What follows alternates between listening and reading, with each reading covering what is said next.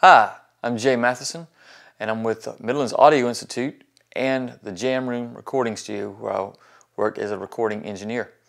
And uh, a product that I found that I've gotten a lot of use out of lately is the Radial Big Shot ABY. And what this is, is a way to combine two guitar amplifiers or select between two guitar amplifiers.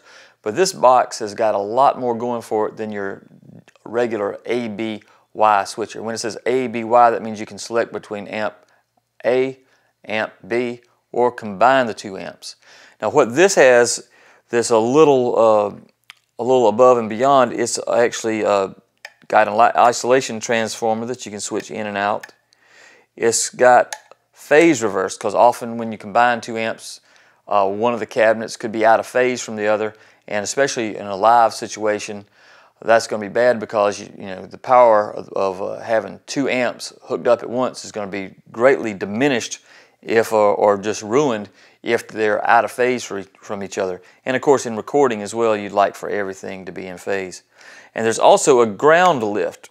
It lifts the ground on one of them so that when you combine two amps you won't get that 60 cycle hum. Also it's got a tuner output so basically the box has got an input from the guitar or from your pedals, uh, an output to go to the tuner that's always hot, and an output for each of the two amps. Of course this is a Radial product. I'm a big fan of Radial products. Uh, every month that goes by it seems like I'm buying another Radial product because they're well built, they're made in Canada by Radial. Uh, they always have really tough boxes, tough switches, tough jacks. They're really probably not going to fail on you for many, many years to come. So I'm a fan of the Radial products, and this is a great problem solver if you are recording guitars, if you're recording heavy guitars, combining amps, uh, switching between a clean amp and a distorted amp. Uh, this is a, a, great box and I'm definitely a fan of it. So if you're interested in the Radial ABY, check it out at frontendaudio.com.